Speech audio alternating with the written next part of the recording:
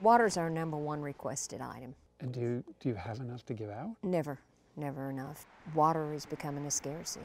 A lot of your uh, water systems, well, most of your water systems, you know, are, are antiquated. In our, you know, the coal companies used to keep all of that up. Well, as the coal companies died out, pulled out, uh, shut down, the water systems were just left to run themselves. So you in know, theory, with each passing year is going to get worse and worse. each year is getting worse. It smells so bad. What about the color? I went to a church and someone in the church uh, said, Miss Linda, you want to see some water?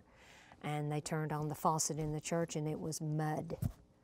That is the worst I've ever seen. It was mud just coming out, just coming out of the faucet. And she ran it and ran it. I said, That's nothing but mud. There's no water, it's just mud. And it's in a local community here.